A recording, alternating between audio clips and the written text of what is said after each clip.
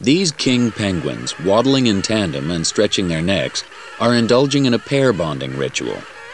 Penguins nest closely together in colonies for warmth and safety, but such cramped conditions can lead to disputes. This young male has strayed too close and will be driven off by the others. Fighting among colonial species is highly ritualized, and birds rarely hurt each other seriously.